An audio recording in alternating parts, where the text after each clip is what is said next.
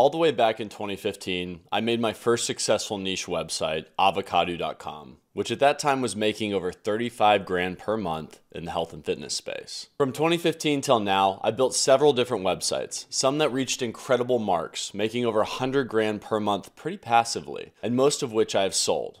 All of this to say, I have a ton of experience in this topic and am not here to sell you any BS. Today, I'm going to show you three real websites that are making extraordinary money but the subjects are incredibly boring.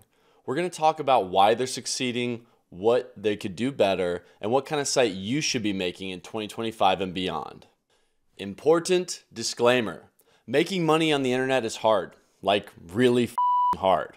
I know there are about 100,000 different blowhards on YouTube telling you how easy it is. It's not. The reason people tell you it's easy is because they want to sell you something. The reason these sites are successful are because they are both very old and the creators have spent a ton of time hammering down on solving one problem.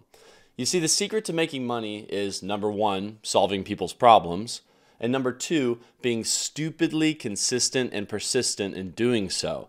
I only bring this up because I need to set the right expectations if you're on this video. If you're on this video, you're probably interested in making money websites, and that's awesome. It's made me a lot of money to make profitable websites on the internet. But please accept it's going to take you a while to find success. This is not a get rich quick scheme. Okay, that's my rant. Let's get to the first website. Website number one JPEG to PNG. This is an utterly basic site and was built in June of 2015 for converting your JPEGs to PNGs.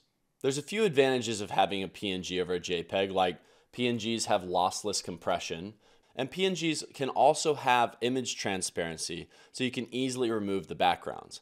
But you probably don't give a crap about any of that. What you care about is how much money the site makes. This site generates, by my estimates, around 25 grand to upwards of 51 grand per month. How do we get that data? Well, we start by using tools like Ahrefs and SimilarWeb to see how much traffic the site generates. Using SimilarWeb, we can see the site generates a little bit over a million visitors per month. When those visitors are on the site, they are shown display ads like these. Now, the average CPM for a site like this is about $3 to $10 per thousand visitors. We want to be on the conservative end, so let's call it about $5 CPM. Using a basic ad revenue calculator online, we can see that this site on the high end makes around 51 grand per month. But the reason why I gave you such a large range is because SimilarWeb traffic has been shown to be a bit generous in its traffic estimation, sometimes even double the amount. So I would say at its worst, it's probably making around 25 grand per month, and at its best, it's making $51,000 per month. Now, this is a great cash cow of a site. It sits there, does all the work while the owner is probably in the Bahamas somewhere.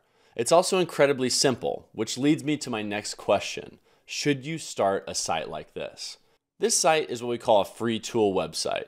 You visit it, you use the free tool, and the owner of this site usually makes money with ads. There's not really a lot of cost to running this site like this, so most of the income is automated. It also does a great job of naturally building backlinks over time because it has a high amount of satisfaction for the user. They come to the tool, they use it, they get what they want, and then leave. All of that being said, I wouldn't start a site just like this one. It's tough to get to the top spot of Google, especially if you're running in a race that's already started. This site has been collecting backlinks effectively since 2016, and Google loves that historical data. Sure, if you had enough money and time, you could go after outranking this exact website.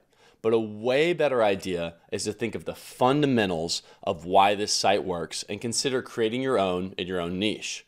I'll explain more on that in a minute.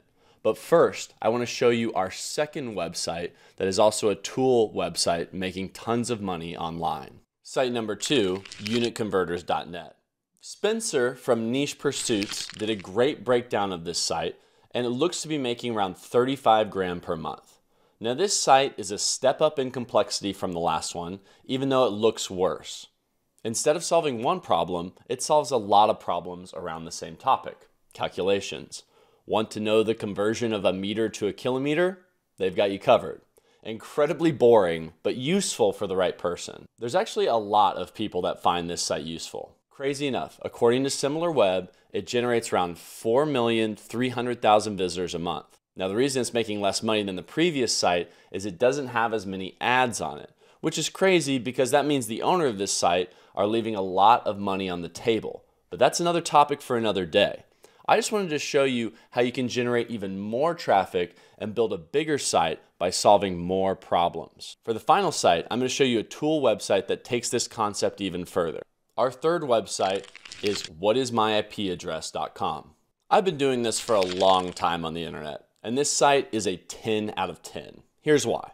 Number one, it immediately solves a problem immediately. People click on this website looking for their IP address and they find it instantly. The satisfaction of the click is really high. And because Google measures how relevant a click is in SEO, they know people love this site. This site alone gets them around 5 million to 9 million visitors a month. And very conservatively, based on ads on the site and the total traffic, it's definitely bringing in over 100 grand per month on ad revenue alone. But that's not it. What makes this site brilliant and make even more money is that point number two this website understands the psychology of why someone wants their IP address and goes deeper. Basically, they are asking the question why are you looking up your IP address in the first place? Perhaps the website visitor is scared of people knowing what they're searching for on the internet and wants more privacy. Or maybe they just want to watch their Netflix shows in a foreign country. Well, guess what? They have an article for that. So if you could scroll up here, you can see your IP address. But when we come down here, it also then addresses what is your biggest concern with using the internet? Is it security? Is it privacy? Is it access? Do you want to access your uh, Netflix, Hulu, or some other site that you're not allowed to access? And security and privacy is a big thing that people can, are concerned with online today. So if you say, hey, I want security, guess what it does? It takes you to an affiliate article that then shows you the top VPNs. Every time someone clicks on this and signs up for a VPN, this is their affiliate link and they get paid on it. And VPNs pay well. So this site not only makes a ton of money from the ads it shows you, it makes a ton of money affiliate marketing as well. I almost imagine it makes as much affiliate marketing as it does with the ads. Now, by solving more of the user's problems, they are able to make more money, and they are already making a ton. Both JPEG to PNG and unitconverters.net could make a lot more money with the same process by asking the question of why is the user visiting the site in the first place and what other problems they could solve. Okay, back to you and your problems. How do you get started? Well, if you had a modern tool in mind, you could just go ahead and start there. There are plenty of AI tools and needs that have not yet been created. But I've got an even better strategy for you, especially if you're a beginner. Here it is. Build a site around your interests, and these tools and ideas will naturally pop up. I play a lot of pickleball, so let's start there. Let's say you build a site in the pickleball space. You publish a bunch of articles and grow an audience in that community. And by doing so, and by learning more of what people want online from pickleball, you'll discover hidden tools that are needed in your space. With pickleball in particular, you discover that most people are looking for local courts to play and players who are as obsessed as they are. You could then build a tool around finding local courts and people to play with and thus the site pickleheads.com exists. This site gets around 350,000 visitors per month, and they actually just seed raised $2.5 million to further the venture. This happened to me a lot when I was blogging. I would see tools and products people needed just by writing articles and trying to help others. If you want to make your own site like that, we've got hundreds of premium tutorials for free on this YouTube channel. I hope that this video not only helped inspire you with learning how people are making money online with websites, but also educated you on why they're making money and on if you should start your own. Again, the internet is a crazy place, and a lot of people on YouTube have no clue what they're talking about. I hope that over time I can build content on this channel that you can trust. I know this topic is unsavory, but I'm here to help you build it and help you build it the right way. If creating websites is something you want to do, the best way to learn is by starting and starting today. Don't overthink it, get rolling, and I'll see you guys on the next one.